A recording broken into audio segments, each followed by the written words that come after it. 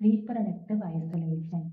The term reproductive isolation denotes the kind of pattern in which two species cannot undergo mating